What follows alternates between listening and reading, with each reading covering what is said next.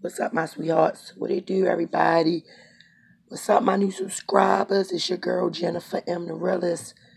Welcome to our page, my sweethearts. I'm sorry if I sound like a man. It's early in the morning. Um, I got a video for y'all, so let's get into it. Let me get this together. Well, back here locally, family members rallied in front of the Greenwood County Courthouse as they called for justice for their loved ones who are no longer here. Family members say several homicide cases aren't getting solved and they want answers. Fox Carolina's Jennifer Phillips live in Greenwood where that rally took place. Jen? Hey, Cody. So that rally wrapped up not too long ago. It took place just behind me here on the front steps here at the courthouse. And so those who are part of the group, they say they want law enforcement in this area to create a designated cold cold case unit so those investigators can concentrate on these unsolved homicide cases. And they're also asking for SLED agents to step in and help. For Cynthia Patterson, the emotional scars of losing her son may never heal. And it's just really heartbreaking. On June 4th, someone shot and killed her son, Zykevius Ramsey.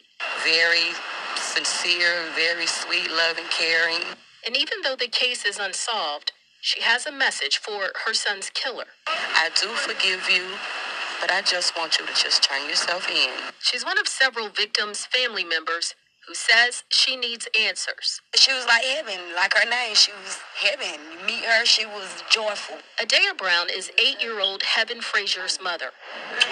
Deputies with the Greenwood County Sheriff's Office say Mike Frazier shot and killed his daughter Heaven and his girlfriend Natasha McDonald before he shot and killed himself. But Adea Brown and her family don't believe that. You got too many of these people, young people, older people getting killed. So during this rally, sponsored by Black Lives Matter Greenwood, Black Lives Matter. they called for justice for victims. We want to highlight it, bring it back uh, to the forefront, and uh, see if we can't get some of these cases solved. Bruce Wilson, with Fighting Justice Together, helped create this Black Lives Matter chapter. We're hoping that law enforcement understands that that these families have been touched by this, uh, living with this, and uh, they need some answers. We talked to Jonathan Link, a spokesperson with the Greenwood Police Department. We want to get it done. We want we want to solve it, and we want to get dangerous people off our streets. He says they need tips from the public. Anytime one of these things happens, our team of detectives comes in, and they start from the moment they get called in, and they don't go home sometimes for a day or a day and a half until they feel like they've exhausted things. But victims' families say they live with it daily. So we're told there are three unsolved homicide cases here in the city of Greenwood, and that hasn't been so within the past nine years. And so we also ask about the ratio. We're told there are 50 officers right now on the force and 2,300 people who live within the city limits. Live in Greenwood, Jennifer Phillips, Fox Carolina, the 5 o'clock news. My sweethearts, and that's the end of the video. Sorry about my crack phone, my day ones, they know what's up. Anybody that want to hate on my shit, look, you can get this work. I'm just saying.